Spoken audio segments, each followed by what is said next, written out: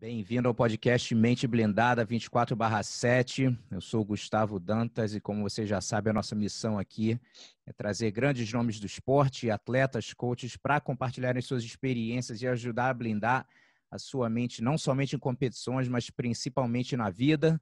24 horas por dia, 7 dias na semana e hoje convidado especial para mim aqui, o meu irmão Bruno Bastos, faixa preta, quinto grau de jiu-jitsu atualmente morando no Texas, líder da equipe Lead, que atualmente está se destacando nas competições também. Tá, ainda está no top 10, Bruno? Estão ali no top 10, décimo lugar. Isso aí, na, na, briga. Passo a passo. Para o pessoal que não conhece o Bruno, eu, pessoalmente falando, é, é o cara que eu conheço que tem mais experiência. Com, conheço bastante gente experiente, lógico, mas acho que desde os 10 anos de idade, competindo sem parar, fui campeão de todos os títulos na categoria, na, na categoria Master que a IBJJF tem de brasileiro, com sem kimono, europeu, com sem PAN, mundial. É, fui terceiro lugar no mundial de adulto. É, muita experiência, é, teve experiência no MMA também, lutou a DCC. Então, muita experiência para compartilhar. Então, irmão, prazer ter você aqui no podcast. Obrigado, obrigado, Gustavo, pela oportunidade. Espero que o pessoal curta, né, que eu possa estar ajudando alguém de alguma forma com a, com a minha experiência aqui. Show. Então vamos lá, começar, vamos lá atrás, comecinho, como é que as artes marciais apareceram na tua vida e a gente já começa a falar de competição. Uhum. Vamos lá. É, eu sou, eu comecei é, no jiu-jitsu em 1990, né? É, com o mestre José Neuri Gomes Júnior. É, meus primos é, Fernanda e André Bastos eles já treinavam já.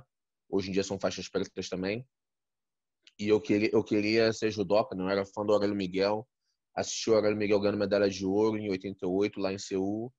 E eu queria ser o Aurélio Miguel, mas não tinha academia de judô, então meus primos estavam fazendo já jiu-jitsu. Aí meu tio falou para minha mãe: pô, não, Olinda, coloca os, filhos, os meninos nesse, nesse negócio aqui, que é parecido com judô.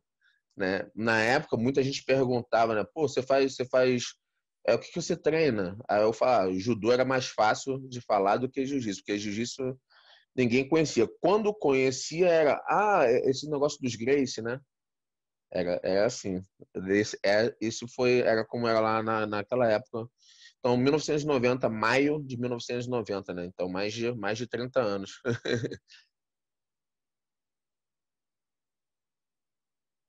e a competição, com quanto tempo que começou a aparecer na tua vida? Com... Per, é, perdão pelo riso. O meu terceiro dia no jiu-jitsu foi competindo. o meu terceiro dia. Eu lembro que no, meu irmão e eu nós fomos numa segunda-feira, né?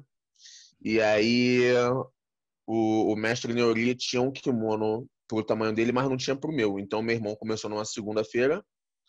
A gente treinava, no começo eram três vezes na semana. Então ele começou na segunda, eu só assisti aula na segunda e aí, na quarta-feira, já tinha o meu kimono lá, aí eu comecei também, né? Que por um acaso, até eu passar o meu irmão nas faixas de idade, o meu irmão ficava na minha frente na forma de graduação, porque ele falava que ele era um dia mais graduado que eu. Enfim. Mas aí, então, meu primeiro dia foi uma quarta, e aí no final da aula, o, mestre Nori foi e começou a, a falar com o pessoal do campeonato interno, que era no sábado. Aí eu levantei o meu dedinho, posso lutar? Aí ele, pô, legal, Bruno, você é um menino competitivo, né? O seu primeiro dia, espera mais um pouco. Aí ele, aí continuou falando, alguém tem mais alguma dúvida? Aí eu, pô, mas eu, eu posso lutar? aí eu fui, na, voltei na sexta, eu treino na sexta, ele falou, não, pode vir amanhã. Aí eu fui, aí ganhei, não sabia, não, se você me perguntar como eu ganhei uma luta, eu não sei te falar como eu ganhei. Mas eu ganhei uma luta e perdi na semifinal. Ganhei, uh, é, não tinha medalhinha, né? Era tipo um, um diplomazinho de terceiro lugar. Uhum. Então esse, esse foi o meu primeiro campeonato. Terceiro dia de jiu-jitsu, campeonato. Sabia nem o que estava fazendo, tentando gravar de porteiro só. e quando é que foi um, um, o próximo, esse maiorzinho, sem ser interno? Pô, duas semanas depois desse já. Duas semanas depois. Duas semanas depois eu teve um campeonato lá na, na Praça Seca, né? Ali do lado do Vila Valqueira. E aí eu já fui, eu ganhei duas lutas, aí perdi na final pro meu primo. Uhum. Né? Que usou ele até hoje, que a gente ainda vai ter uma revanche. e, e aí na semana seguinte já teve o terceiro campeonato. Então no meu primeiro mês eu competi três vezes. E foi quando eu ganhei a primeira medalha de ouro. Legal. E com quanto, quando é que você fez a transição para o Dell, para treinar lá no Melo? Foi no final de 92. É, no final de 91, eu não lembro qual era o motivo, tinha um, um negócio de, teve um desentendimento lá de alguns pais com, com, com o mestre Nori, e aí é, o Jucão começou a vir dar aula para a gente no, no, no, Rio, no Ailson Brits. É, então eu treinei com, com o Ailson Brits no Jucão, mestre Jucão, por por um ano também. Foi quando eu conheci o Robinho, Feijão, Eminho, a galera, uma galera toda da, da antiga lá de Teresópolis que treinava com, com o professor Jucão, né? E durante um ano o Jucão vinha duas a três vezes na semana dar aula pra gente. E aí tinha o Eminho, o Lobão que vinham também para ajudar ele. Né? É, o Robinho e o Feijão, eles eram, eles eram adolescentes ainda é, nessa época. E aí, depois de um ano, era muito, tava muito puxado para o Jucão ficar vindo toda semana no Rio, né? Duas, três vezes na semana. Ele estava vendo também para mudar para Brasília.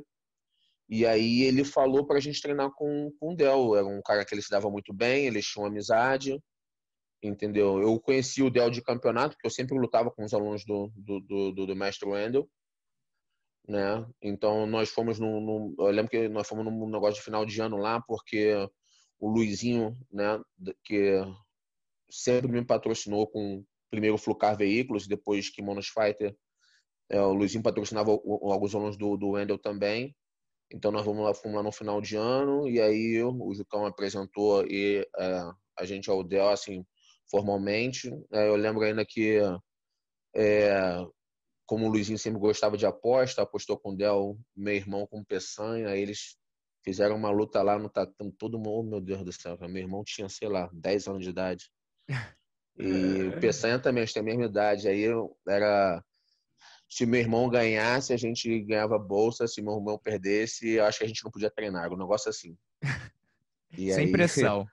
Né, sem pressão. Aí se você perguntar pro meu irmão, a, história é engraçada, porque, tipo assim, o meu, o meu irmão ganhou essa luta, mas Aí a gente começou a treinar lá e o meu irmão apanhava todo dia pro Peçanha. É. Ou seja, ele ganhou na hora certa. É. E Mas foi assim que a gente não... começou a treinar com o Del. 92 para 93, e nesse 93 a gente já estava com o mestre Wendel já.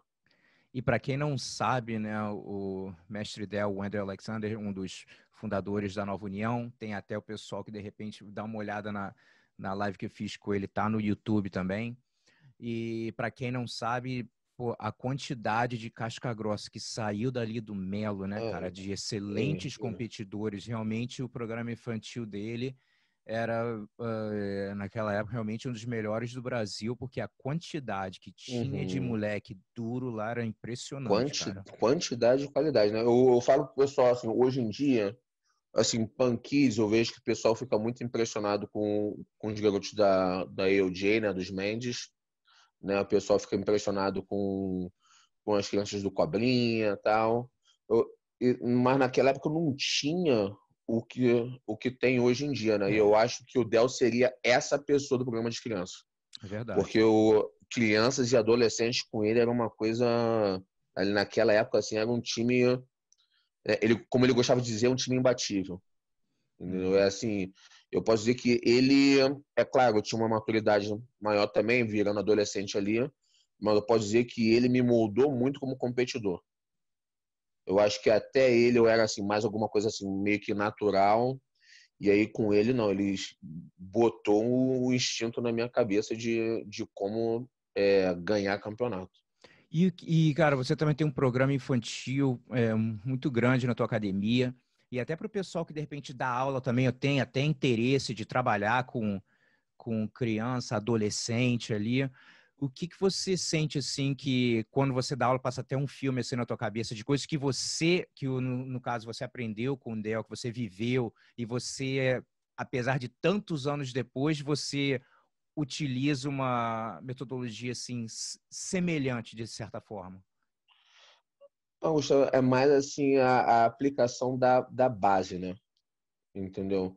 É, o Dell, independente de competição, até porque naquela época não tinha esse negócio de camp, né? Não existia camp é. na época. É. Você treina, tem um campeonato, você vai e compete, né? Então, isso é uma coisa assim que eu, que eu é, replico assim, claro, com, com ajuste em evolução, um monte de coisa, mas eu, eu replico aqui. Não, não existe assim, por exemplo, vai ter um campeonato aqui na cidade, ou uma cidade perto, ou em Dallas, o que seja. Né? As, as crianças gostam de lutar, às vezes os pais gostam de levar as crianças para lutar. O, pai chega para mim, por exemplo, e fala: Ah, meu filho vai lutar campeonato tal e tal daqui uma semana. Eu falo: Tudo bem. Tipo, eu não mudo o treino por causa de. É. Entendeu? Porque na minha cabeça é a criança está aprendendo jiu-jitsu. É claro que competição é, um, é uma forma de trabalhar bastante desenvolvimento pessoal, não só de criança como, de, como adulto também, mas a gente falando de criança aqui, né?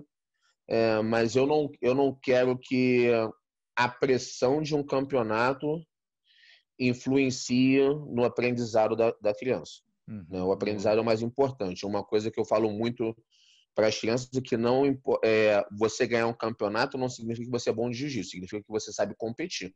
Uhum. Né? Porque é, a primeira coisa que eles entram no jiu-jitsu né, é, é, pelo menos 90% das crianças é defesa pessoal e alguns tiros por causa de bullying ou algum, alguma coisa, né? E eu falo para eles que não adianta nada uma medalha de ouro no domingo se você não souber como se defender na segunda-feira. Verdade. Entendeu? Então, é assim, uma coisa que eu não mudo, né? E tem uma equipe boa trabalhando comigo, né? A minha, a minha esposa ela é formada na escola de esporte da Bulgária, então ela tem uma bagagem incrível, faixa preta de judô, campeão mundial de judô, de sambo russo. Tem uma bagagem incrível, tem o Yuri Santos aqui também, na bagagem do, além de faixa preta de jiu-jitsu, a bagagem do wrestling, né? E os instrutores que nós temos aqui, tanto a Emily quanto o Xavier e a Vanessa, são três, três adolescentes, né, ou jovens adultos que vieram do nosso programa de criança. Então, eles sabem exatamente como a gente trabalha. É, eu, eu acho que essa organização assim também ajuda bastante, né? Porque, é, como você falou, é um programa grande e não, não, não existe assim, nada de sucesso que seja feito sozinho, né? É, com certeza. Mas acho que o principal é esse, não, não, é, não mudar, assim, foco, bastante foco na, na parte é, de aprendizado do jiu-jitsu, sem dar essa importância que às vezes eu acho desnecessária que os pais forçam os alunos, ou até alguns professores mesmo forçam os alunos com relação à competição.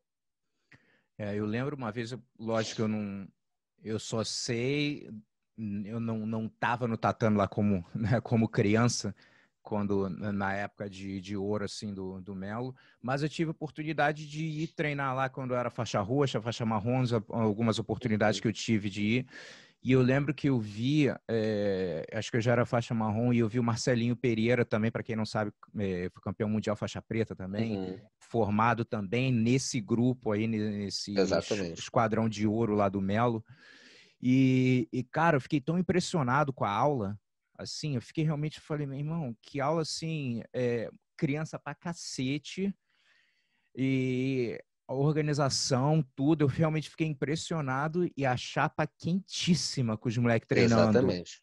Puta, e tipo assim, então, Exatamente. então eu vejo assim as diferenças, né, para quem de repente está no Brasil, né, tá acostumado assim no, nos Estados Unidos, é, como você vê essa diferença assim da, daquela agressividade, da, lógico que tem, pode generalizar, mas cara, era muito é, eu olhando assim as crianças daqui é, na, na, minha academia uhum. e as crianças lá, meu irmão, a chapa esquentava de tal maneira que o moleque, desse moleque chora, quebra. É, eu acho que é muito com relação à cultura, né?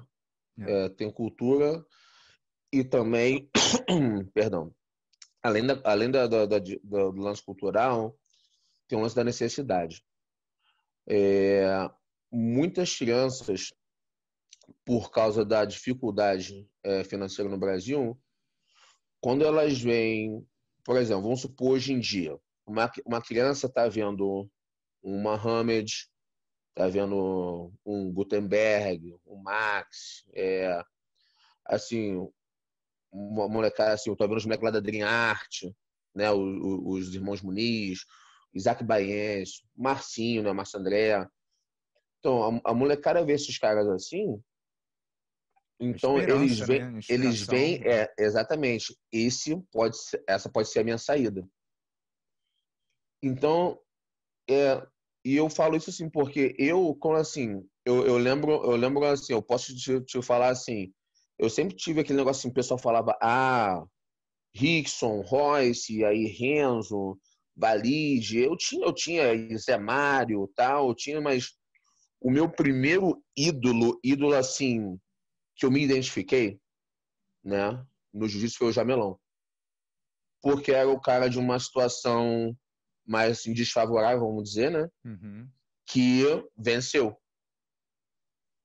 Entendeu? Então, eu assim, uma coisa que eu acho muito importante em qualquer esporte é, é o ídolo, né? Então, o Jamelão, eu, eu lembro que eu, eu, eu, pude, eu pude até competir contra o Jamelão, né? É, antes da preta, campeonatos que eram faixas juntas, né? E, e depois na preta.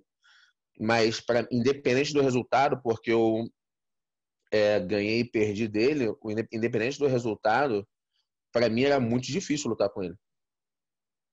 Né?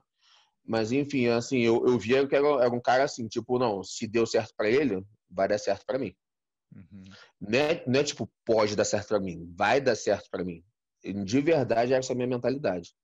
É, e aí, dentro da equipe, você, eu, assim, do Melo, e aí depois se torna uma nova união. Eu vi, eu vi o pessoal que ia conseguindo vencer na vida, independente do caminho que seguia. Ou dentro do jiu-jitsu, ou dentro da parte de, de, de, educação física, né? Eu via, tipo, vi, vi o Wagner, vi Shaolin, vi Robinho, vi Marola, vi Feijão, vi o Léo, Marcelinho, você.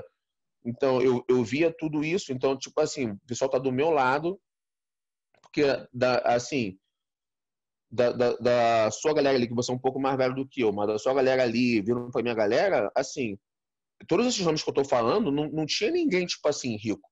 É. Não tinha ninguém, tipo assim, pô, não, esse cara é bem de vida. Não tinha, todo mundo era na relação. Então, assim, dentro da academia eu também tive esses espelhos, né? E eu acho que a, a agressividade das crianças no Brasil é com relação a isso. Tipo, elas veem o, o caminho, né? É, é, essa é a estrada de, de, saída. E é uma coisa, assim, que o você perguntou do meu programa de crianças, assim, uma, uma parte que é legal, você falou desse, desse lance da agressividade. Se você, quando chega na parte do rola, se você for ver, né? Mas por quê? É, eu acho que tem, tem vezes que eu vou falo coisas para eles que eles não vão entender no momento mas na minha cabeça estou plantando a semente. Uhum. Né?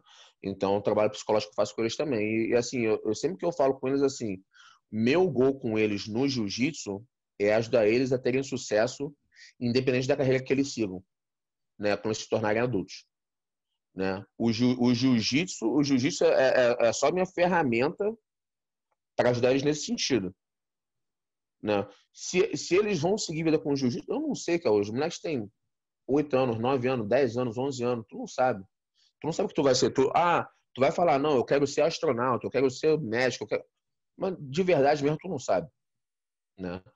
Então é, mas eu é assim, é o meu meu objetivo é usar os discos como ferramenta uhum. para eles serem adultos de sucesso. Então é, é, é, é dessa maneira que eu tento é, colocar com, com, com as minhas crianças, assim, não é questão assim de agressividade, mas de lutar e batalhar todo dia, todo dia. Não é, não é quando você, ah, não, hoje eu tô afim, hoje eu não tô afim. Né? Porque eu falo para isso, os pais de vocês trabalham todos os dias para vocês poderem estar aqui. Eles não escolhem não trabalhar um dia. Então, se eles querem. Então, a cabeça da criança, de repente, a criança não vai entender isso. É. Mas quando a criança tiver 20 anos, pô, meu professor falava essa parada. 25, meu professor. Entendeu? Então é isso que, assim, é minha, minha, minha esperança, né? É, ou, a forma como eu gosto de trabalhar. E, assim, acho, acho que eu consegui responder, né? A, uhum. a, a, a pergunta. E como eu também já sei bastante da sua história, algumas coisas que eu vou pedir para você falar um pouquinho também. E, cara, você foi um, um garoto assim que é, ganhou muito quando era novo, né? Então, uhum. é, eu queria que você também falasse um pouco como foi, até no momento, tipo assim, você a, começou a perder ou perdeu, porque, de novo, tem vários professores aqui e às vezes as uhum. pessoas não sabem nem às vezes, como lidar com a criança, quando a criança ganha, ganha, ganha, perdeu, e agora? Né? E você também já comentou comigo também, da, da, até do momento que, que teve que você era criança e que os pais estavam meio que separados, e aí como aquilo uhum. trazia, né? É, é, eu acho interessante você falar a respeito, porque são coisas que a gente, às vezes, como professor, eu falo, todo mundo, incluindo as crianças, todo mundo está lutando uma batalha interna que ninguém sabe a uhum. respeito, né? Então, eu acho que isso é, é, interessante você falar a respeito dessa, dessa época e como era, assim, de tá ganhando, daqui a pouco você, pum, dá aquele baque, você perdeu. É, como é que fala um pouco nessa área aí? Então, né, uh, que, a gente tem que ir no começo de novo, né? É, eu lembro, é porque assim, meu pai e minha mãe eram, eles estavam separados, né? Então, assim, a gente viu meu pai, meu, tinha, meu pai tinha o final de semana dele a cada 15 dias, né? Então, quando eu comecei, né, e aí já teve aquele campeonato interno, seria um final de semana dele, que aí não foi dele porque eu, eu pedi para não para não ir para poder lutar o campeonato interno. E meu pai, tipo assim, ah, terceiro dia do Bruno no campeonato, eu não sei, eu não, eu não lembro assim, né, mas ele não estava lá. E aí o, o, segundo campeonato, né, era um final de semana da minha mãe, então ele, ele também não não tava, né? E aí eu acho que é importante falar assim, eles, eles não tinham um, um, bom relacionamento, então é eu, eu, eu, vou falar essa parte, por, eu estou assim, mencionando isso porque vários professores vão encontrar alunos na mesma situação, né? Uhum. Mas aí, no, no, terceiro campeonato que eu ganhei, foi o primeiro campeonato que ele foi, né? Então, na minha cabeça, tipo assim, meu pai tá aqui, eu não posso perder. de, de verdade era isso. E aí, beleza, eu lembro, eu lembro que eu tive três lutas, né? E aí eu ganhei e tal. Duas lutas, assim, quando eu, eu, é engraçado porque eu tinha 10 anos, mas eu, eu lembro das lutas, das três lutas, fechava a guarda, estrangulamento na cara dos garotos, eu não fazia nada, né? E ganhava as lutas. E aí, pô, meu pai foi levar a gente para casa, minha mãe foi, minha mãe foi assistir, claro. É assim, ó, você pode ser o melhor pai do mundo, mas o melhor pai do mundo não é mãe, né? Eu sempre falo isso. Minha mãe foi lá assistir, claro. E aí meu pai deu carona pra gente, meu, meu pai foi levar a gente em casa e, claro, deu carona pra minha mãe também. E aí ele ficou, né, cara? Ele, ele dormiu lá. Na minha cabeça de 10 anos de idade, se o Bruno Bastos ganhar campeonato, o pai e a mãe vão ficar juntos. E a partir desse momento, eu queria estrangular qualquer criança na minha frente. Né? É, assim, eu postei uma foto outro dia, né? Assim, uma foto eu com 11 anos, e aí eu já agora é a ponto de completar 40 anos, né? Foi até no, no dia que da minha graduação do quinto grau, né? Que você estava uhum. aqui, você me presenteou a faixa.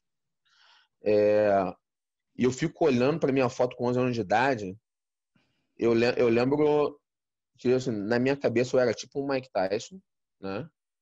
E mas os jogadores que lutavam comigo de verdade eles tinham medo de mim porque eu machucava eu, depois disso eu, assim eu machucava muito a gente eu não tenho orgulho de falar isso mas era a minha mentalidade na, na época eu era muito agressivo tipo assim onde para mim eu de verdade estava defendendo o fato de meus pais continuarem juntos né? eu lembro que o Neuri em um, em um, em um determinado momento que naquela época não, hoje em dia você vai online tal naquela época você dava um nome do seu aluno para o organizador né Uhum. Então, tinham até caras que lutavam com apelido na época.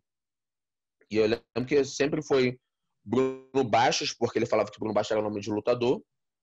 E ele começou a mudar meu nome para Bruno Cruz, porque meu nome é Bruno Bastos Cruz, né?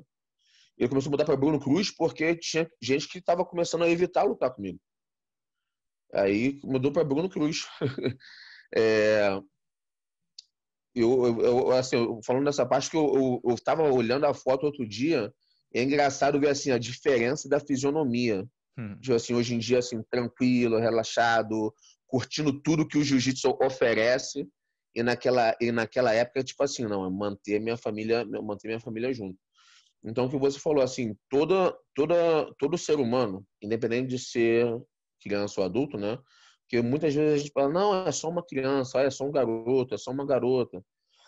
E, e, não, e não é bem assim, né, cara? É, isso, isso foi minha, minha, mola, minha mola mestra, né? Na, na época.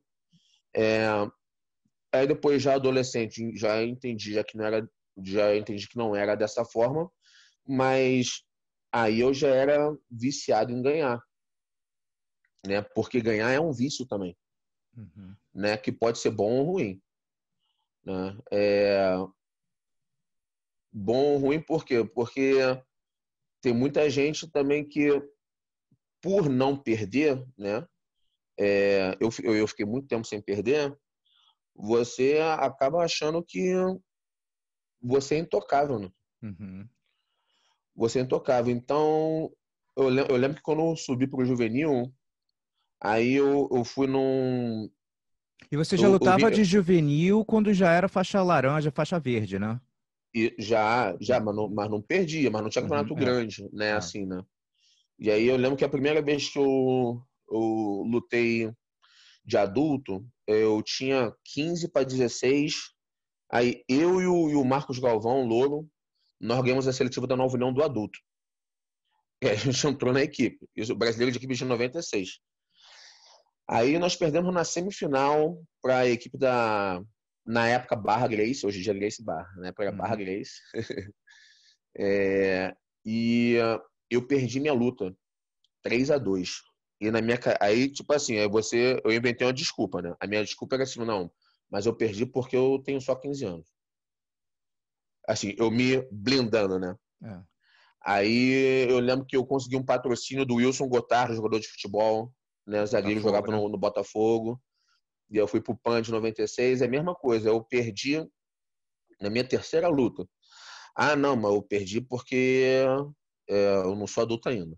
Eu, eu, eu, eu me sabotava, assim, quando eu não estava na minha zona de conforto. Né? Quando eu não estava na minha zona de conforto. E aí eu lembro, eu lembro que o meu primeiro baque, essa eu não sei se eu, se eu, se eu, se eu já te contei, assim, foi brasileiro. Faixa roxa, não? Não, de, de juvenil eu ganhei, eu ganhei o peso, aí fui pro absoluto. E eu tava tão, assim, eu tava tão certo de que eu ia fazer a final do absoluto com o cara da, da Carson Grace, Daniel Christoph, que era aluno do Saporito. Lembro. Que, e aí eu perdi na semifinal e eu não sabia como reagir. E aí eu falar, não, mas o garoto, porque o garoto era mais pesado que eu, né? Eu falar, não, mas ele, é porque eu não soube lidar com, com o peso dele. Eu tenho que melhorar alguma coisa. Eu sempre achava uma desculpa. Né? Sempre achava uma desculpa. Porque não eram, assim, derrotas, de, assim, ex, existe você perder uma luta e existe derrota. Então eu perdi a luta, mas não era uma derrota. Né? Assim, é, o que eu tô querendo dizer? Quando, quando minha primeira derrota mesmo foi com 18 anos, faixa roxa já. Eu fiz um super luta com, com o Juan Carneiro, Jucão, né? na época, hoje em dia, faixa preta, tem academia em Atlanta. É, ele a faixa roxa do Libório na época, e aí a, aquela foi uma derrota, porque ele fez mais de 20 pontos em mim. E eu lembro que eu né, apertei a mão dele, apertei a mão do Libório, saí do tatame, peguei minha mochila de kimono, ponto de ônibus para casa. E eu, e eu já dava aula na segunda-feira, lá na Nova União Bangu. Parecia que alguém tinha morrido. Ninguém falava nada, ninguém falava comigo. Eu não falava com ninguém. Dei a aula como se, alguém tivesse morrido. E, foi assim uma semana. É, foi assim uma semana. Então, acho assim, por causa do o, o, vício de o vício de ganhar, acabou sendo ruim para mim nesse sentido. Eu não sabia como lidar com a derrota. Uhum. Né? E aí, mas porque eu, eu tinha perdido, porque eu perdi algumas vezes, mas nunca tinha sido derrotado, eu meio que arrumava uma desculpa, não, mas eu perdi por causa disso. E, e, e essa não tinha essa como, de... né? É, e essa derrota acarretou uma série de derrotas depois, porque eu, eu, eu, eu, eu fiquei com medo. Isso acontecer de novo, né? Então, é, assim, acho que essa é a parte mais difícil assim de lidar, né? Assim, eu tenho alguns alunos aqui, eles ganham um campeonato importante, vão ser, vamos dizer, Pan Kids ou Mundial Juvenil, né? Essas coisas assim, e aí ah, eu, e se eu perder agora? Bom, é assim, aí é quando eu tenho, eu tenho os flashbacks, né? Tipo assim, pô, é. entendeu? E aí, por, pela experiência, e assim, motivado muito pelo se eu trabalhar com, com o BG Mental Coach, né, motivado por esse trabalho, assim, por estudar também psicologia do esporte, psicologia do desenvolvimento de crianças, né, porque já é uma parte já diferente da, da do esporte, entendeu? São coisas que têm me ajudado bastante em como é, poder é, ajudar os, os meus alunos nesse sentido, entendeu? Então, é, eu acho que foi, foi muito bom para mim é poder ganhar tudo que eu ganhei ali no, naquela época. E aí foi muito, mas a parte ruim era achar desculpa para quando alguma coisa não dava certo. E aí, quando eu perdi de verdade, assim, na época foi muito ruim para mim, assim, os, os, sentimentos que eu tinha, né, as dúvidas, é, mas me ajudaram, assim, foi um, foi um ponto de virada da minha carreira. Eu não diria nem muito como competidor, mas como treinador que eu sou hoje, treinador e professor, né? Porque eu falo que professor e treinador são duas coisas diferentes. Então, como professor e treinador, é, eu acho que essa fase foi a fase mais importante que, que eu tive, de como aprender a, a aceitar e lidar com a derrota e dar, poder dar a volta por cima com isso tudo. E qual foi um evento assim que você sentiu que deu uma virada na chave, assim como você passou essa, você falou veio uma sequência de derrotas tal. Quando foi o momento que você sentiu a cabeça dando, dando uma mudada ali para o lado melhor, assim, começou a superar mais e viu que né, já já estava superando, no caso, essa fase? Então, isso foi ali pelo meio do ano de 98, né? Porque foi logo depois do Mundial, e o Mundial era no meio do ano, lá no, lá no Tijuca, na época, né? Uhum. Eu tinha sido vice-campeão mundial, tinha perdido a final pro Gabriel Vela. E, é, mas na minha cabeça, ah, não, foi 3 a 2 então eu tô, lutei bem, tal, não sei o quê. E eu de verdade eu tinha lutado bem. Né? E aí teve essa derrota pro Jucão, e aí eu fiquei de, de, assim, foi em julho, agosto que teve esse evento. Eu fiquei até dezembro de 99 sem ganhar nenhum campeonato. E eu lutava todo, eu lutava todo mês. Maioria dos meses, mais de uma vez. Né? Então, eu não, cara, eu não ganhei nenhum campeonato por basicamente um ano e meio. Né? A maioria dos campeonatos eu nem cheguei no pódio. A maioria dos campeonatos eu nem cheguei no pódio. E teve uma Copa Nova União, e a Copa Nova União na época era um campeonato assim, claro, campeonato interno, mas era, mas era um campeonato né? muito, muito forte. Porque você lembra das seletivas da Nova União? Ah. Então, gente do Brasil inteiro, e aí eu, eu ganhei, eu lembro que eu lutei só o absoluto roxo. E eu ganhei o absoluto, eu ganhei o absoluto roxo. Pô, e era muito cara duro. Era muito cara duro. Eu, assim, eu lembro que eu não acreditei que eu ganhei. E mesmo sendo Copa Nova União, quando eu ganhei, o pessoal me levantou, me sacudiu tal. Porque, tipo, é, é assim, eu não, eu não acreditei, cara. Eu não acreditei. E, e aí, dali, aí eu tive. Aí, aí começou tudo. Aí voltou, assim, a fase assim, na minha cabeça naquela época normal, né? Tipo, não, agora eu ganho de novo. Mas foi só, é, tipo assim, eu, eu saber que eu ainda podia ganhar, né, entendeu? Eu tinha que saber uhum. que eu ainda uhum. podia ganhar. Né? Eu tive eu tive uma experiência agora com, é, com, com, com um dos meus competidores, né? É, eu tive algumas experiências, né? É, mas assim, nesse ano agora, porque teve esse negócio da, da, da pandemia, né? Tá tendo a pandemia, né? É, eu lembro que eu tenho uma aluna, Emily, ela ganhou tudo de, de criança, de juvenil, e aí ela estreou na roxa esse ano. Até a pandemia parar tudo, ela perdeu tudo que ela lutou. Né? Ela, assim, ganhou lutas, mas não ganhou nenhum campeonato.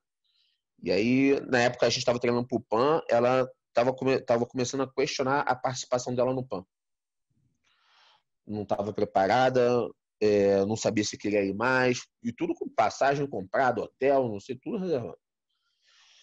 E aí a IBJJF cancelou por causa da pandemia, né?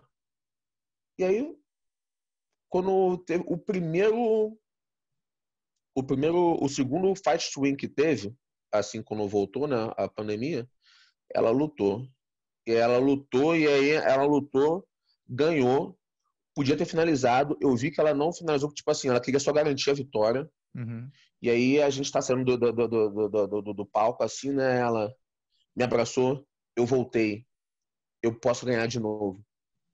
Cara, e pra mim foi assim, o mesmo filme, tipo assim, dezembro de 99. Hum. Né?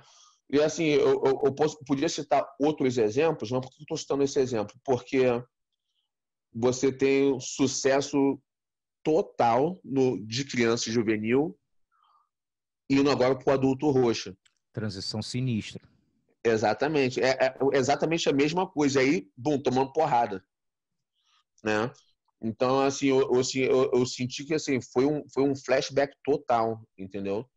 É, e aí depois, aí, aí, decolou, aí decolou de novo. Aí começou a ganhar um monte de campeonato. Os, os campeonatos que a BJ começou a fazer depois, né? Austin Open, Oklahoma Open.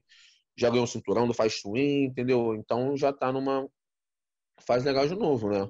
É, que vitória e derrota, né, cara? Vai, vai existir, né, cara?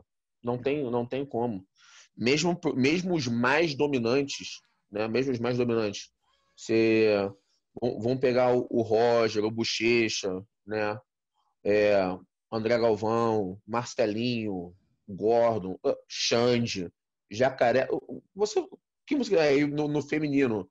A Gabi Garcia, Bia, Luana, é, pô, você vai falar um monte de nome aí, todos têm vitórias e derrotas né? Eles têm consistência de vitórias, mas uhum. têm derrotas. Né? Então, é, esse é o, é o principal. Assim, o, o, dos meus alunos Master é a mesma coisa. Né? Você vê que tem uma galera aqui boa de Master, né?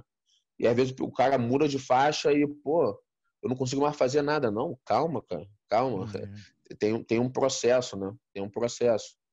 Então, assim, eu acho que essa minha essa minha experiência é, como competidor é, eu acho que, assim, de repente tem alguma coisa que eu não tenha passado, mas eu acho que eu passei por pelo menos quase tudo que um competidor pode passar de lesão, frustração, vitória, derrota, euforia, tristeza, choro e não só não só competindo como acompanhando meus parceiros de treino também. É.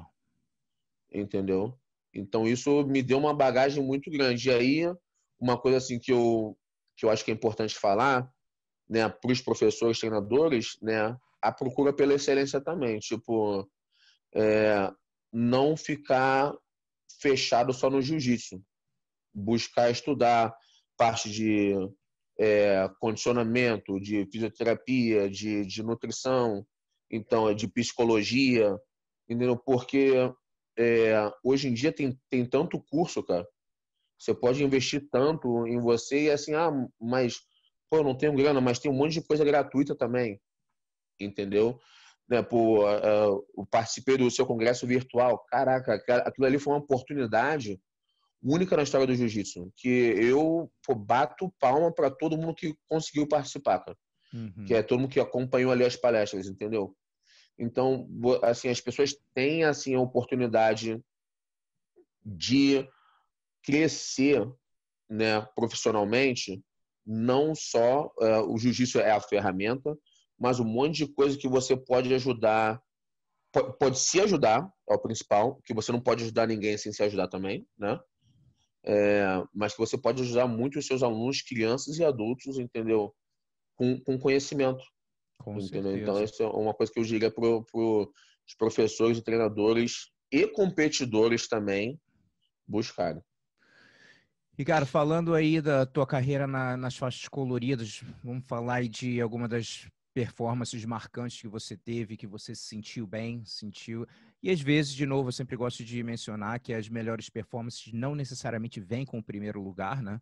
É mais uma coisa de sentimento, que às vezes você lutou muito bem, teu oponente lutou muito bem também, e foi uma coisa, às vezes pode ter sido uma decisão, uma vantagem, ou às vezes um errozinho no final, apesar de ter lutado muito bem, um erro no jiu-jitsu. Vocês sabem como, como é que é. E então, qual um evento assim que vem, se tiver mais de um, também pode mencionar? Cara, eu, eu sempre, assim, toda vez que alguém me pergunta isso, né, é, assim, nas faixas coloridas, assim, é, eu sempre, eu sempre lembro da, das minhas batalhas com o Xande né, na faixa marrom, que a gente lutou muitas vezes no espaço curto, né? Era estadual, mundial, e perdendo e ganhando, mas foram, assim, lutas que me ajudaram muito no meu desenvolvimento, né? E o legal, ele veio aqui na, na, ele tá morando aqui no Texas agora, então ele veio aqui na academia, deu até um seminário aqui, passou alguns dias aqui, a gente treinou junto, e foi muito legal a gente lembrando dessa fase assim, tipo de faixa roxa, que ele lutando com meu irmão, aí faixa marrom lutando comigo, né? Legal ver a perspectiva dele, tipo assim, ele era eh, de Manaus, né? Tipo assim, pô, esses baixos lá no, no, no Rio, que ganham todo mundo da minha academia, eu não posso ir lá, eu, eu, te, eu, eu tô indo lá e não posso perder, e não sei o que. É assim, ouvindo o outro lado, né? Uhum, legal. É, muito, muito legal essa parte. Então, foi, foi uma época que foi muito é, importante é, para o meu desenvolvimento, né? Eu, eu uma luta de faixa verde, né? Tinha um menino, eu até falei que era com ele que eu esperava fazer a final do Brasileiro de 96 no absoluto, Daniel Christoph. Eu lembro quando ele subiu para verde em 95, brasileiro, né? É, porque ele nunca tinha perdido.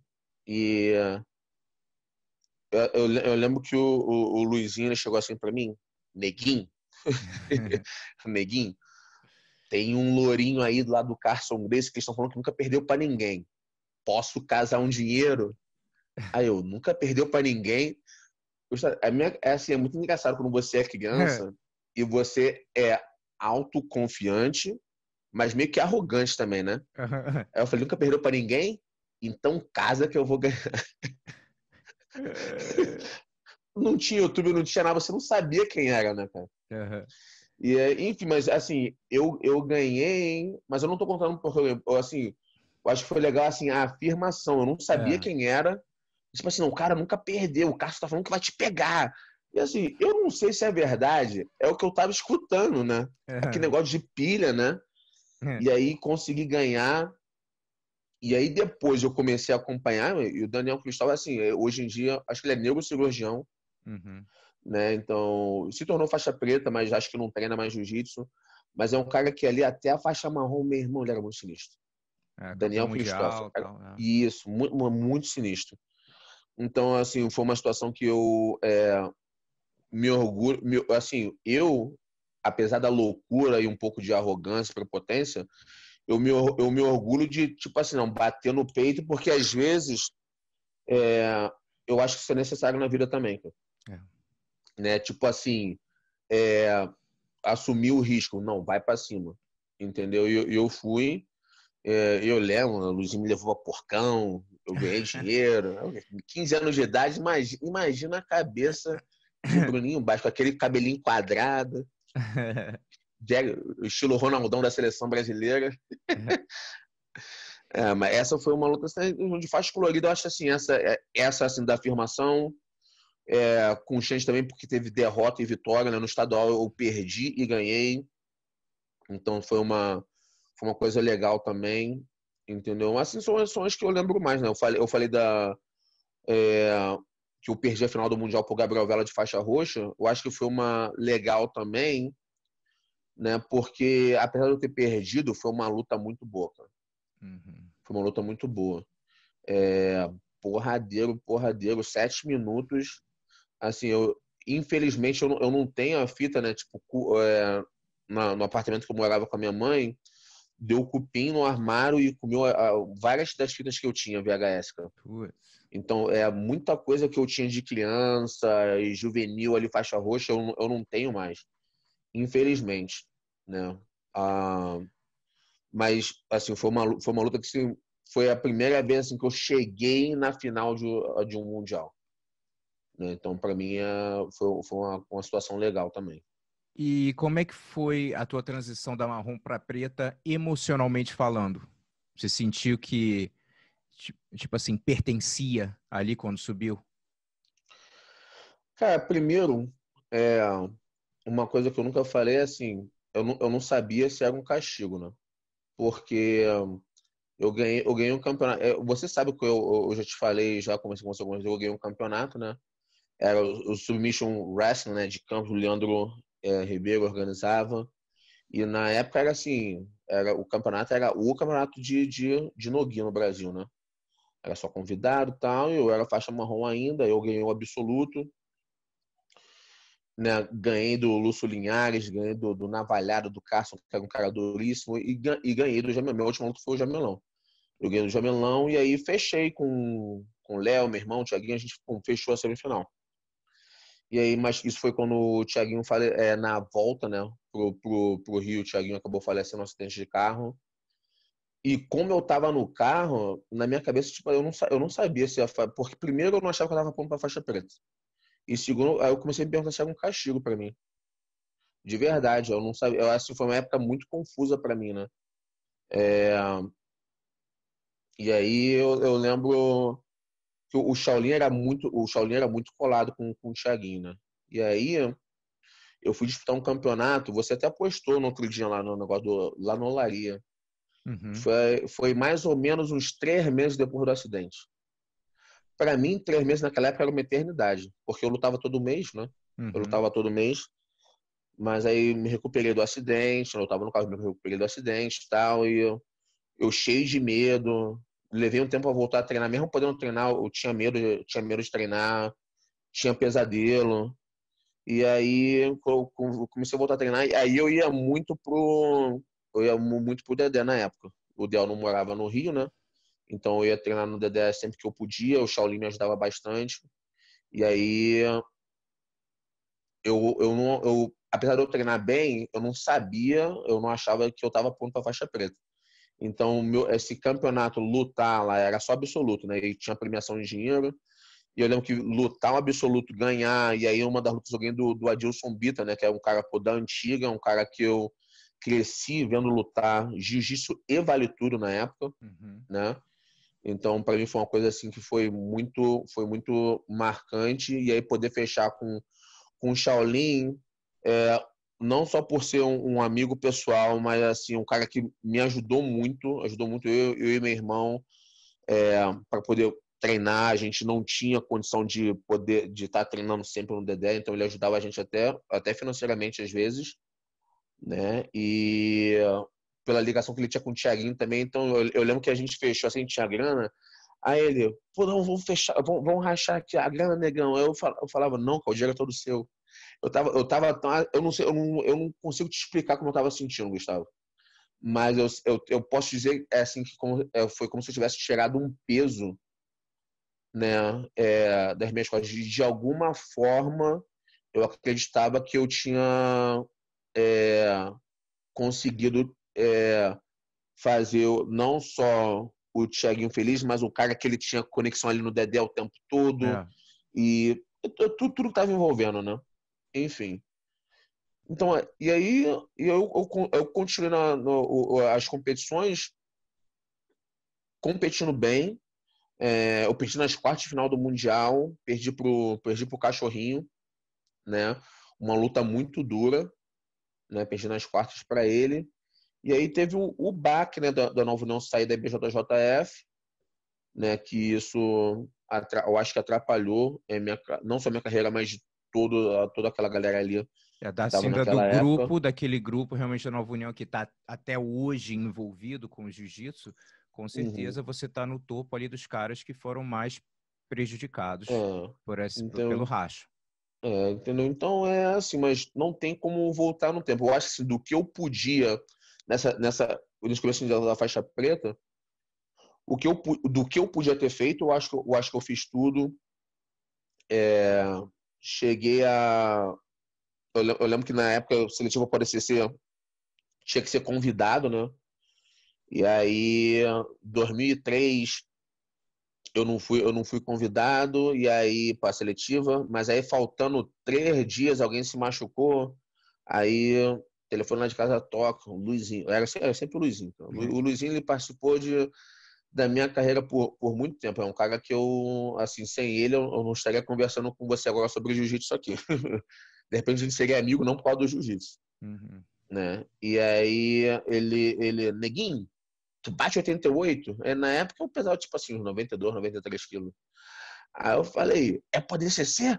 Ele, é isso, é essa parada mesmo aí. Eu falei, ô Pato, e da, daquele jeito, né? Roupa de plástico, sem é. comer, sem beber, não sabia nem o que estava fazendo.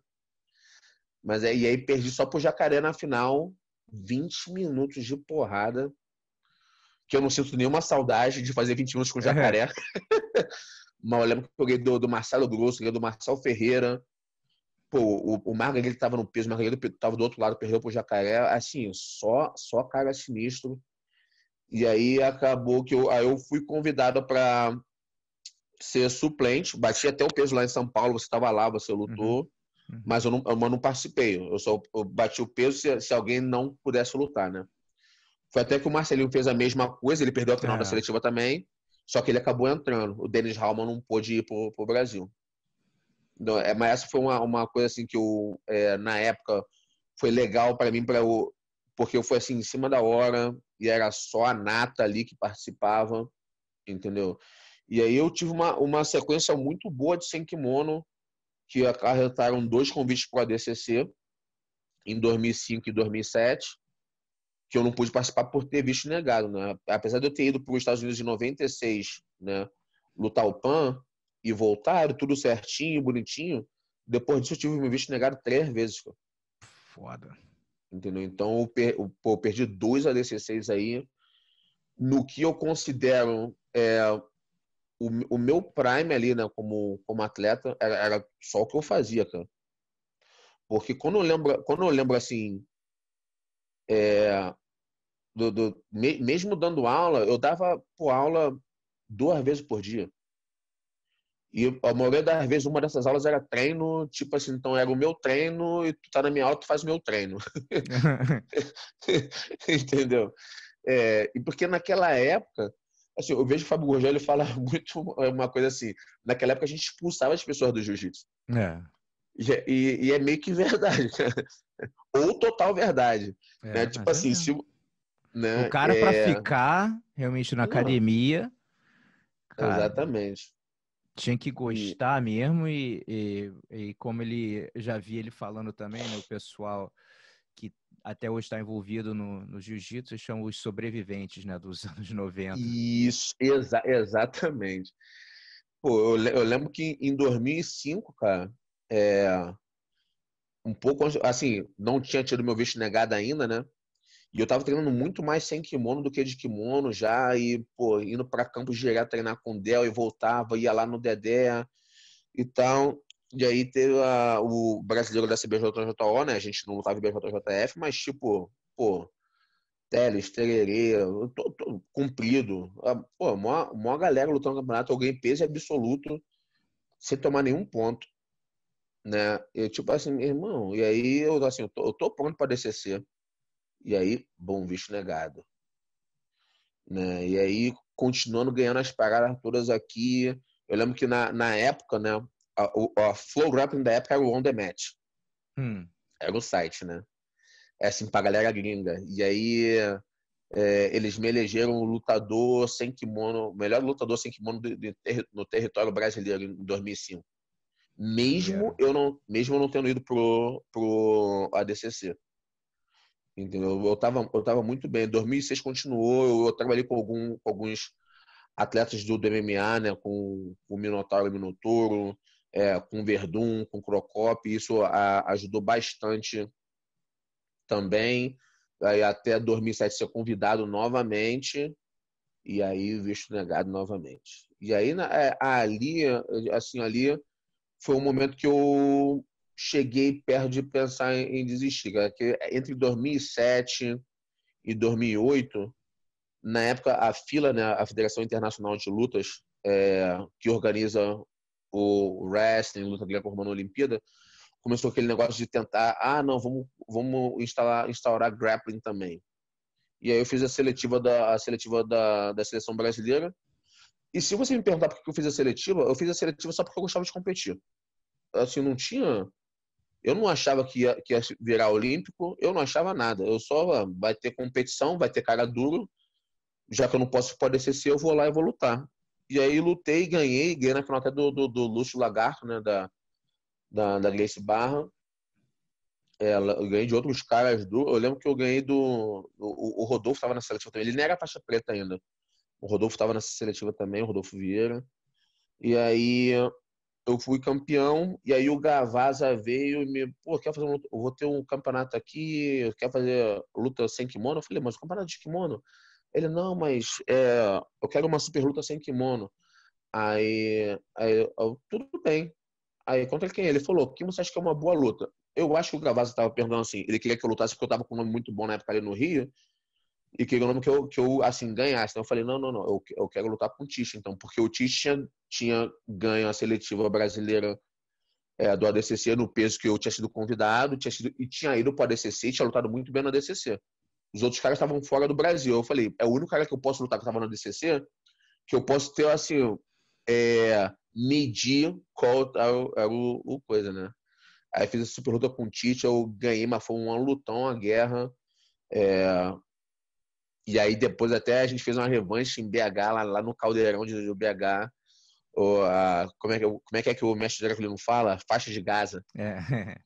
Eu fui lá na faixa de Gaza, aí mó lutão também, dessa vez eu perdi, mas assim, é, aquela época ali foi uma época muito boa, assim, com relação à competição, assim, no Brasil, mas uma, ao mesmo tempo eu pensei em desistir.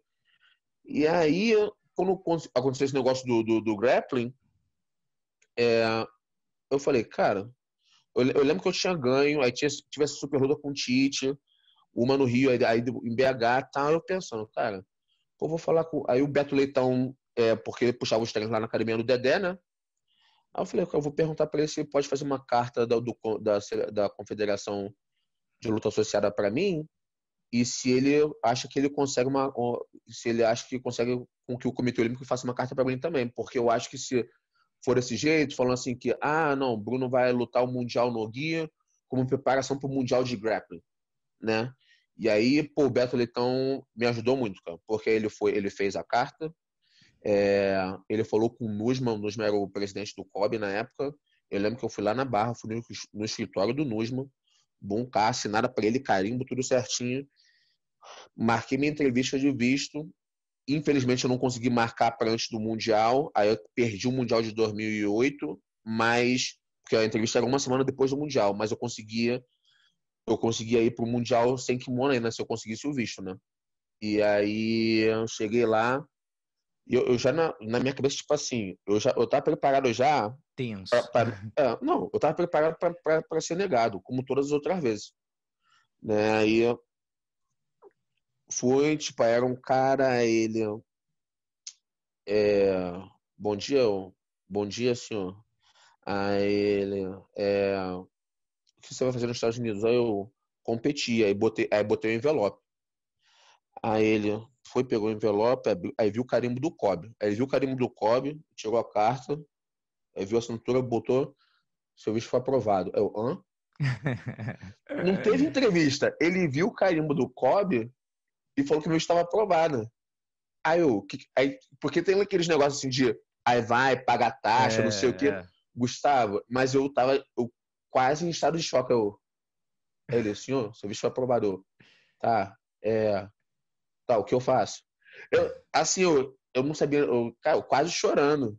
e aí, enfim, eu, mas foi porque na minha cabeça, aquele momento era um momento em assim, que se meu visto não tivesse sido aprovado, eu não vou falar, eu não posso falar nunca que jiu-jitsu sairia da minha vida. Uhum. Porque jiu-jitsu tem sido a minha vida desde os 10 anos de idade. Né? Eu não falo que eu faço jiu-jitsu, eu falo que eu vivo jiu-jitsu. Né? Eu vivo jiu-jitsu desde os 10 anos de idade. É, mas eu acho que se tivesse sido negado naquela época, de repente eu teria tentado fazer vida de uma outra maneira. De repente, eu não falaria, eu não falaria abrir academia no Brasil, porque eu já dava, eu já tinha minha academia. Uhum. Então, não tinha sentido assim, eu vou abrir outra academia.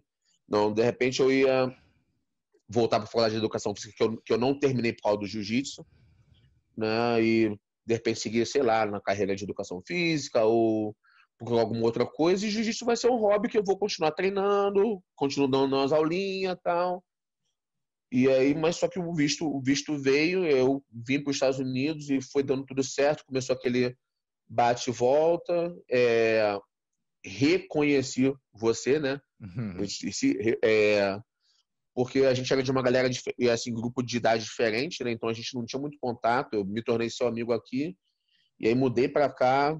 É, então, assim, a transição, né, para faixa preta, eu tenho que levar até esse momento, porque normalmente as pessoas tipo assim, transição é tipo assim os primeiros dois, três anos, sei lá. Uhum. Mas o meu foi assim, foi turbilhão que foi porque eu não conseguia estar tá onde todo mundo estava, que era aqui. É. E eu, não, eu nunca nem quis morar aqui. Essa é a parte engraçada. Eu só queria vir poder competir. Entendeu? Mas então, é, então e essa foi a, a transição, desde aquela, aquele, é, aquela guerra interna que eu falei assim, pelo, pelo evento com, com o Thiaguinho, aí poder fechar com o Shaolin, e até conseguir vir para cá. E de performance marcante, na, agora a gente falando de faixa preta, né? De repente, nesse, uhum. nesse outro momento da tua vida. Então, o que você diz de performance marcante? Ah, cara, eu, eu, eu, sempre tenho que citar a minha primeira luta com o Roger, porque foi uma luta que abriu, abriu as portas dos Estados Unidos para mim. Né? Muita gente que na, na, época não tinha internet como tem hoje, então muita gente conhecia meu nome aqui, mas muita, muita gente não sabia quem eu era. Então, assim, foi uma situação que abriu, né? Pô, o domingo, o domingo, como a gente gosta de falar, o domingo da pirâmide é o domingo da pirâmide. Uhum. Então, foi quando eu fui apresentado, assim, reapresentado, né, para o mundo é, do, do jiu-jitsu. Então, eu, eu sou muito orgulhoso dessa performance, apesar de ter sido derrotado, né, é, pelo Roger. É, foi uma luta boa, que eu, que eu de verdade lutei, é, tentei ganhar, não tentei lutar, tipo, na, não, é, jogar a regra, não. De, é, de, verdade eu tentei ganhar, tentei finalizar ele, né? É, então essa é uma luta. Eu, eu sempre, sempre falo também do, do Mundial, né, do, do World Pro em Abu Dhabi. É, quando eu tive, eu tive, uma ruptura parcial né, do, do tendão no, no braço. eu não sabia que era isso, eu só não conseguia mexer meu braço, mas vou lutar, vou continuar. E pô, eu lembro que eu, eu ganhei do. Entre, entre outros, ganhei do, do Evangelista e do Lovato em sequência.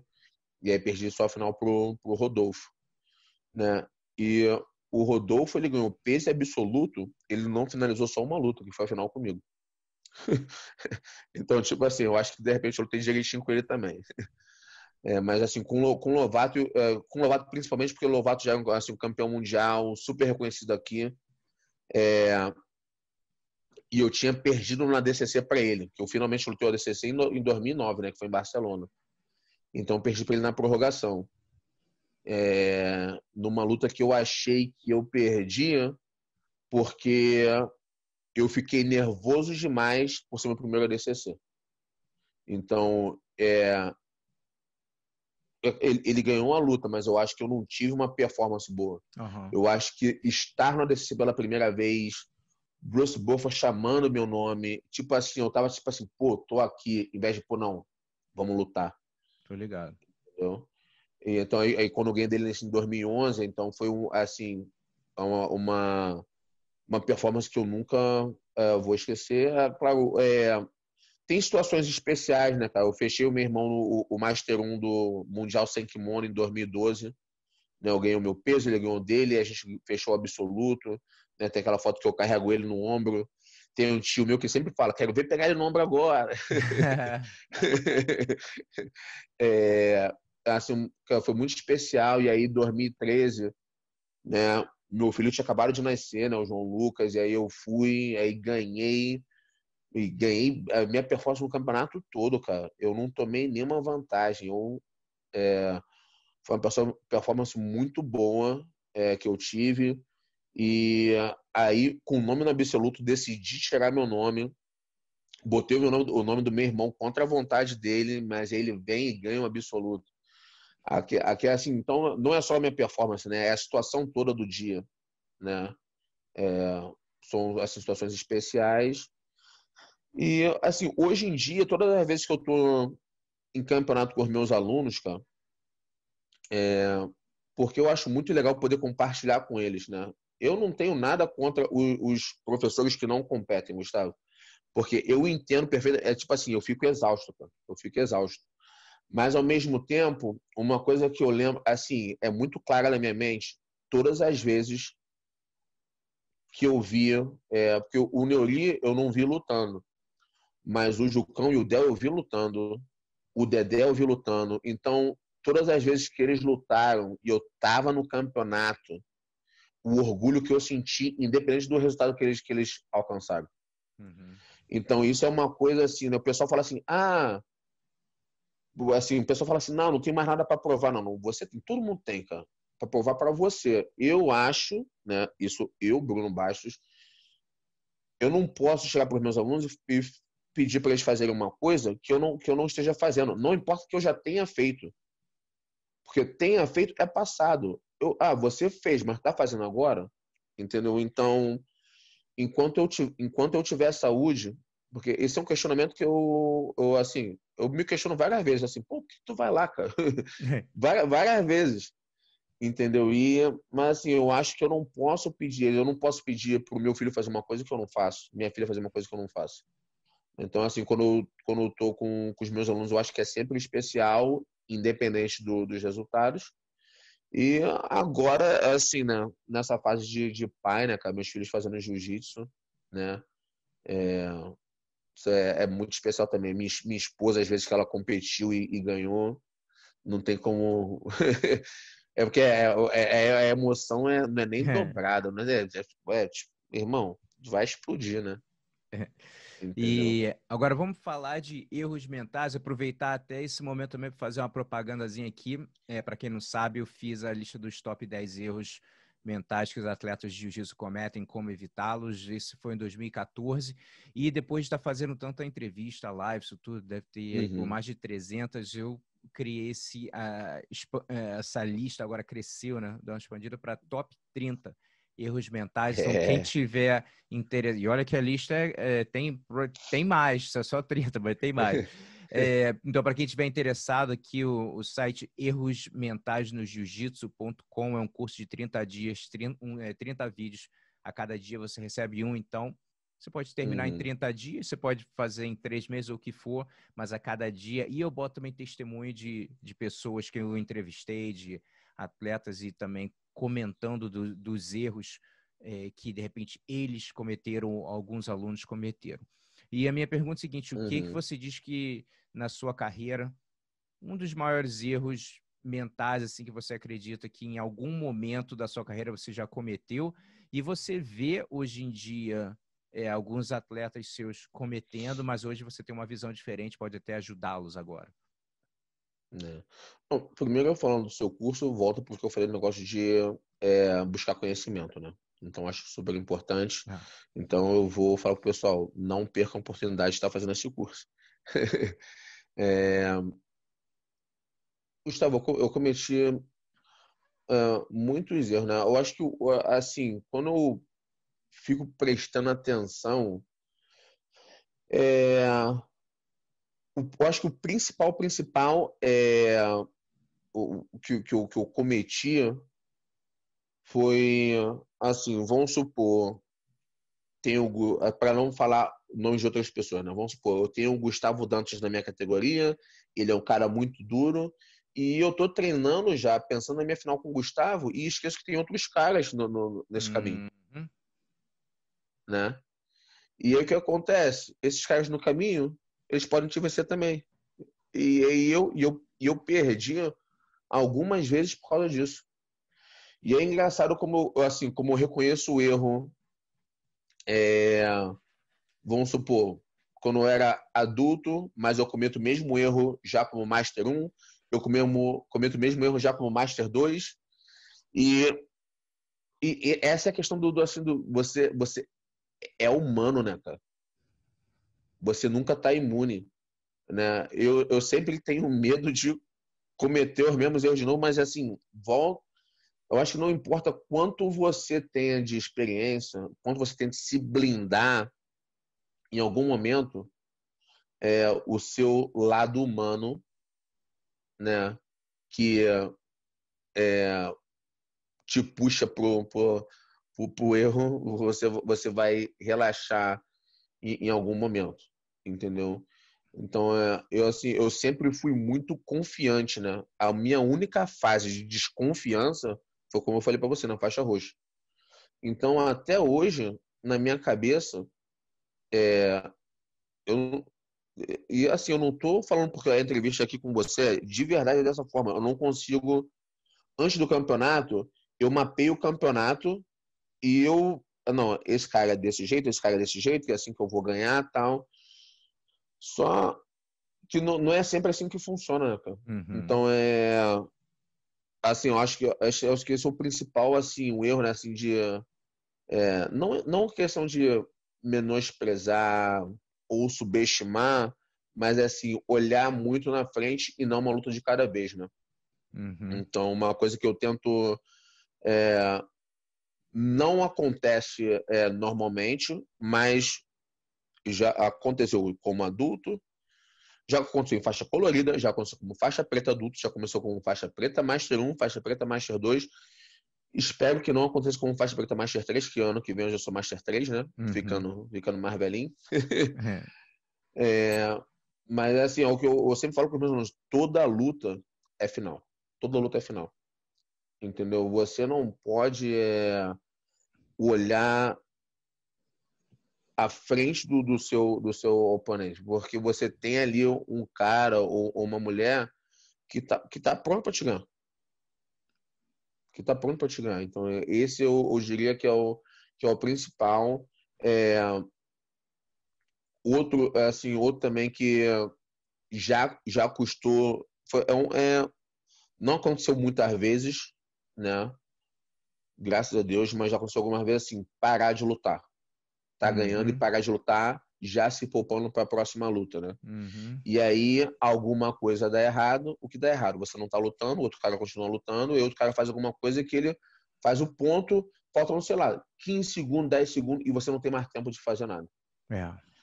Entendeu? Então, isso é uma coisa assim também que eu, é, assim, eu marco muitos meus alunos porque é o que eu falei, né, cara? Eu, eu, pode ter alguma coisa que eu não tenha vivido, que eu não tenha vivido no, no jiu-jitsu, mas eu acho que eu vivi quase tudo, entendeu?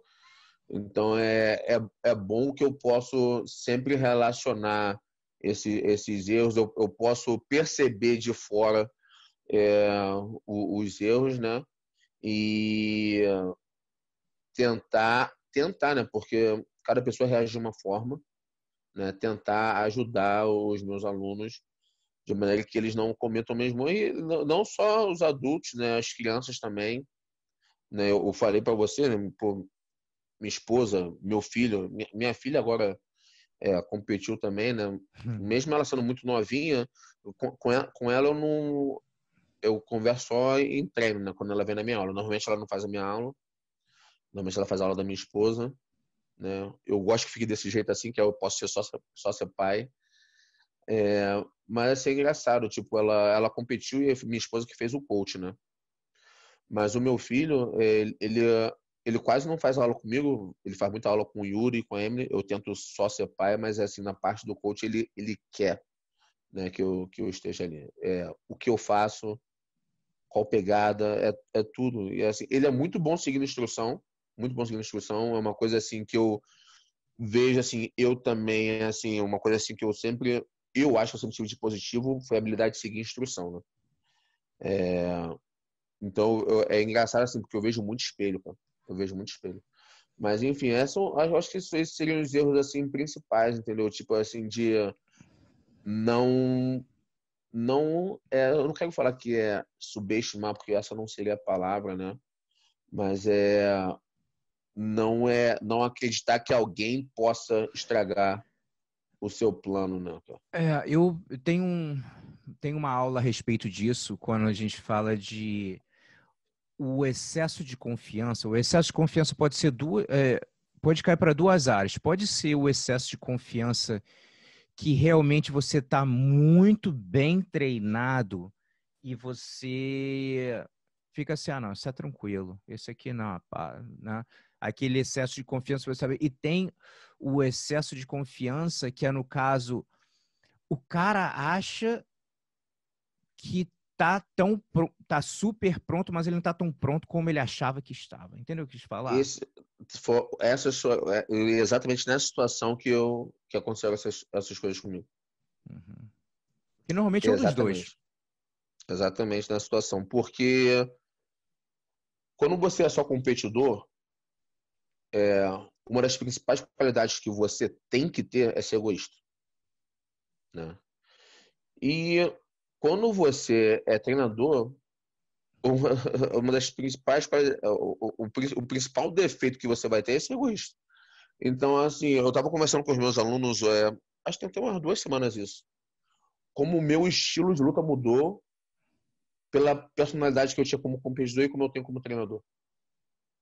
Né? É, como competidor, quando era só competidor, era super agressivo. Né? Era um cara que, tipo, deu você falar, pô, moleque voador, tal, não sei o que, blá, blá, blá. E hoje em dia, muito mais é, conservador.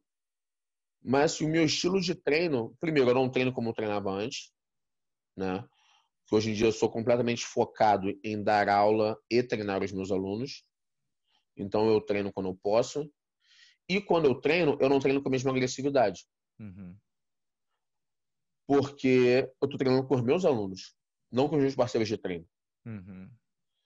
Automaticamente, o meu estilo mudou, porque eu vou competir da forma como eu treino. Entendeu? Então, é, é assim, essa é uma coisa. Eu sou muito bom em desligar a chave, assim, quando, quando eu vou lutar, assim, fazer as coisas que eu tenho que fazer mas eu não consigo ser agressivo no treino com, com um aluno meu. Porque eu não estou ali para me preparar, eu estou ali para ajudar o meu aluno, para preparar o meu aluno, e quando eu digo preparar o meu aluno, eu não estou falando de competição, estou falando de, de, vida, né? Uhum. Né, então, é, né, eu, eu, uh, tem algumas palavras em português que eu, que eu esqueço, né? Mas selfish, é, egoísta, egoísta, né? E né? selfless. O que seria selfless? É, é, tá que nem como, eu. como, é, como você quer dizer? É, tipo, eu I'm, I'm, I'm, I was very selfish as a competitor uhum. and I'm selfless as a coach.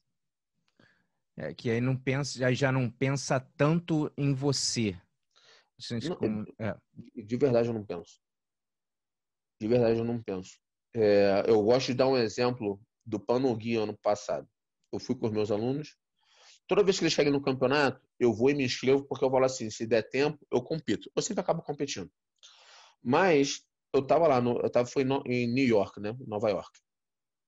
E aí, pô, foi um final de semana legal, foi bem, tipo, foi, era sábado e domingo, foi, eu não tinha muita gente competindo, eram só cinco contando comigo. Então ficou bem dividido, dois num dia, três no outro, ficou uma divisão legal. E aí eu lutei, um, aí ganhei meu peso, me inscrevi no absoluto, falei, vai dar tempo. Só que aí o absoluto do juvenil e do Master 1 faixa preta começou antes do, do que estava programado. E aí calhou junto com o absoluto do, do Master 2. E eu tinha um faixa preta e uma juvenil, e uma juvenil lutando. Começou a chamar os dois. E, e eu tava, eu tava literalmente a, a, a, ponto, a ponto de entrar no tatame. Aí eu vou pro coordenador, ei, tira meu nome aí da WO. Aí ele, hã? Eu tiro. Aí o, o Chico na checkmate, não, Bruno, me fala quem é, eu vou e faço o coach para você. Eu falei, não, cara, eu vim aqui por meus alunos. Aí eu olhei pro coordenador, bota WO aí, eu não vou lutar. Ele, ah, mas você vai lutar agora. Não, bota WO, eu tenho que ir. Porque eles estavam chamando os dois. Entendeu? Então, na, na minha cabeça, eu não, eu não tinha o direito de não estar lá para eles. Uhum. Entendeu? Se você perguntar se eu faria a mesma coisa né? Eu tenho 40 anos hoje. Se eu faria a mesma coisa com 30 anos, eu teria lutado absoluto com certeza. Uhum. Com certeza. Entendeu? Então, assim, quando assim, eu, essa é uma coisa que assim, eu, eu, vejo muito diferente da minha da minha personalidade assim, como como treinador. Eu de verdade me dou pro, pro, pro, pros meus alunos, né, pro, pros, pros competidores, porque eu hoje em dia eu eu falei para você, eu, eu, acho, eu, eu gosto de estar lá com eles, eu gosto de compartilhar esses momentos com eles. Mas e não é e não é que não é que eu, eu não me importe com o resultado. Eu sempre vou me importar. Eu sou competidor, mas eu acho que essa é a vez deles. Uhum. Entendeu? Então, se eu estiver numa situação que eu tenho que escolher, eu, eu vou escolher meus alunos. Porque é a vez deles de escrever a história deles. E eu sou muito feliz de, de ser parte dessa história. Uhum. Legal. Entendeu? E quando eu falo expressão mente blindada, quem vem assim à tua mente? Vamos falar, eu, é, eu, sei que você gosta muito de esporte, de outros esportes também. De repente, alguém é, do jiu-jitsu e outro não jiu-jitsu. Cara, não jiu-jitsu não tem como falar uma pessoa só, não. Hum. Eu acho que não tem como falar uma pessoa só no jiu-jitsu, mas deixa eu tentar falar no jiu-jitsu uma pessoa só. Não, pode ser, pode dar um, algumas assim que se destacam mais, pode ser, pode ser mais de um, tranquilo. Cara, é... no jiu-jitsu, se não for, se eu for deixar de lado os meus amigos, né, companheiros de equipe, é... eu acho que eu tenho que falar, é, assim, eu vou falar três, três pessoas, né, por serem inglês. O Royler, né, mestre Roger Grace, a Kira Grace e o Roger Grace, porque a pressão e a torcida contra que eu vi esses três lutando em campeonato, por serem Grace, uhum. e eles conseguirem o sucesso que eles tiveram, não é normal. Eu podia dar vários, eu podia dar vários exemplos aqui, Gustavo, de, de atletas no jiu-jitsu, cara. Mas esses três é a mesma coisa. Esse menino agora, o Hyron, né? Filho do, do, do Ryan. Pô, eu tava lá no PAN na Flórida agora. Ele foi. Toda a luta dele. Eu, ele tava no, no Austin, tava no Oklahoma também. E eu, eu tenho um, um aluno na, na, categoria dele, não, não mais, porque agora ele subiu pra roxa. Mas, tipo assim, a quantidade de pessoas que para pra ver lutando só porque ele é inglês. Uhum. Né? E aí eu entendo, assim, e falando do Roller, da Kira e do Roger, eu, assim, eu entendo, entre aspas, né? nunca conversei com as pessoas, mas entendo outras pessoas que poderiam ter tido o mesmo sucesso ou mais, mas que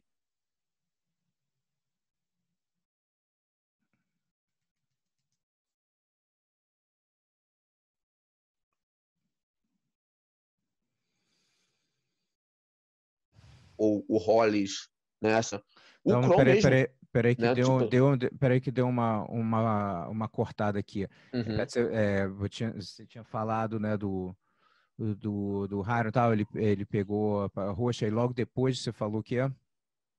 Então, é, eu tava falando, é, o, o Haron não agora ele pegou a roxa, então ele não tá mais na categoria do aluno meu, mas ele Tipo, você viu o número de pessoas que. É, param para isso. Isso, param para ver o garoto lutando. Lá o Pan na Flórida agora, pô, quando ele foi lutar a final do absoluto, basicamente o campeonato parou para assistir. Hum.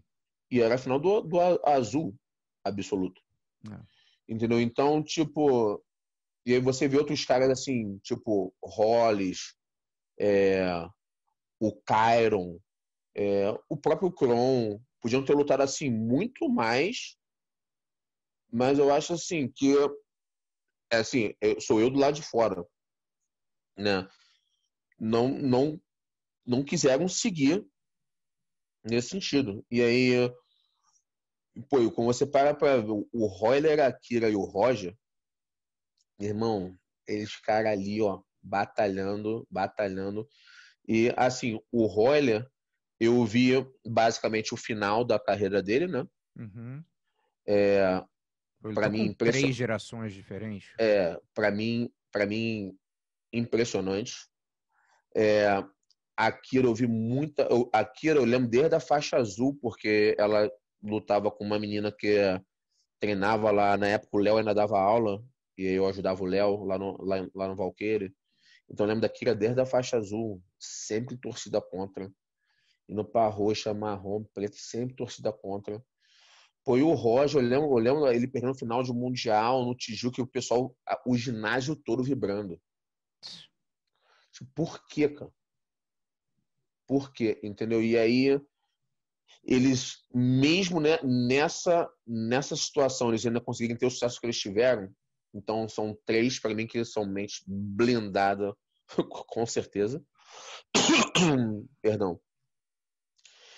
E fora, fora do, fora do jiu-jitsu, é, eu, eu sempre, fui, sempre fui muito fã do Michael Jordan. Uhum. É, esse documentário dele, né, Last Dance, é, muito show. Para mim aumentou a minha idolatria. Uhum. Mas eu vou falar, é, a, a, além do Michael Jordan, eu vou falar de mais um cara que aqui nos Estados Unidos tem muitos haters, né? Que é o LeBron James. Uhum que esse cara ele sofre uma pressão descomunal desde que ele surgiu no segundo grau. Não. E ele continua com, com excelência. É. Continua com excelência, cara. Tipo, quão forte mentalmente tem que ser o cara para aturar tudo que falam negativamente contra ele, contra ele, e ele continua ali e liderando e, e fazendo, fazendo tudo certo. Porque ele não tem deslize profissional, tipo assim, ah, se dopou, ah, usou droga, ah, teve caso extraconjugal, ah, não tem, cara. Não tem. É, eu acho assim impressionante. Então são é, é um outro cara que eu diria mente blindada com certeza. Com certeza. E a gente está chegando aqui no final da entrevista e a minha pergunta final é sempre o seguinte: uma das maiores lições que a competição te ensinou, não só o jiu-jitsu, mas eu digo assim, o fato de você estar tá ali competindo, né? treinando, competindo no jiu-jitsu. É, que não importa o que aconteça no domingo, segunda-feira é segunda-feira para todo mundo. Né? Então, é, você assim, me conhece há bastante tempo, você vê que não importa o que aconteça na segunda-feira, qual é o próximo objetivo. E assim, eu não estou falando de objetivo, não estou falando de campeonato, não, né? Uhum. É, é, na vida mesmo, entendeu? Porque a vida não para, né, cara? Ah. É, é assim, engraçado, a vida não para, mas você nunca sabe quando é o último dia. Entendeu? Então, é, não importa, não importa o que aconteça no domingo, segunda-feira é segunda-feira para todo mundo, né? Então é e sempre em busca de qual o próximo objetivo para você, mesmo que não seja uma coisa que seja para o seu benefício, mas para o benefício de alguém, né? Que, que você se importe ou benefício de de alguém que você só quer ajudar, ou o, que seja. Eu sempre tenho objetivos. É, eu acho que por isso eu tenho dificuldade de dormir, tu sabe disso. Entendeu? A cabeça está sempre trabalhando.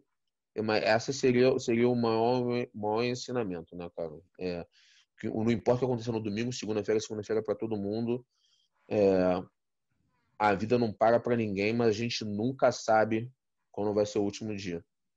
É isso aí, eu gosto de falar também, né? Não é porque você ganhou um campeonato, ninguém tem passe livre, não precisamos pagar conta, né? Exa exatamente. Eu, eu, eu, lembro você perguntando para mim, cara, pô, tipo assim, você ganha ou perde, mas na segunda. Eu falo, porque segunda-feira é segunda-feira. É, é segunda-feira, entendeu? Então, é, é, é, eu continuo vivendo isso tento passar a mesma coisa para os meus alunos, desde os pequeninos de 3 anos de idade começam no tatame. E, de novo, eu falei durante a entrevista, né? Eu sei que várias vezes, quando eu falo com as crianças, eles não. E mesmo com os meus filhos, eu sei que eles não vão entender na hora, mas mesmo que você saiba que a pessoa não vai entender a mensagem na hora, eu acho que é importante você plantar a semente. Com certeza. Com certeza. É super importante plantar a semente. Irmão, brigadão aí pela entrevista e para quem não sabe, como eu falei, né, por Bruno é um dos meus amigos pessoais mais próximos. Então a gente já quantas conversas que a gente teve, só mais uma só está uhum. sendo gravada aqui para o pessoal é verdade. É, escutar. né, vai ficar aí durante muito tempo e sempre também a gente aprende junto, né? Muito, é, uhum. é, trocando ideia quando está em campeonato ou, o que for.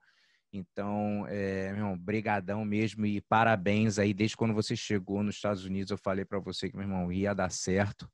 E tá dando Obrigado. muito certo. Tua, tua academia aí tá, pô, é, apesar da, da pandemia, né? Pô, tá uhum. despontando aí, graças a Deus, indo muito bem. Então, todo esse trabalho, todas as, as dificuldades, a gente nem falou muito tanto de, né, de você chegando nos Estados Unidos. Isso é um pessoal, uhum. o pessoal não sabe, né? O pessoal só vê agora e Exatamente. não sabe como é que é essa, essa transição de chegar num, num país novo. É difícil pra caramba, língua, é, cultura. Uhum né? E chegar ao ponto de você ter uma academia não é uma coisa fácil, como às vezes as pessoas acham. Chegou nos Estados Unidos, pum. Não, não é mesmo. Quando você pega o, o, o Play Card, né? O, o, o, cartão de, de Playboy de Green Card, que não é isso, tão. Isso foi, isso foi é, graças ao, ao, ao, ao aos ensinamentos do jiu-jitsu. Uhum.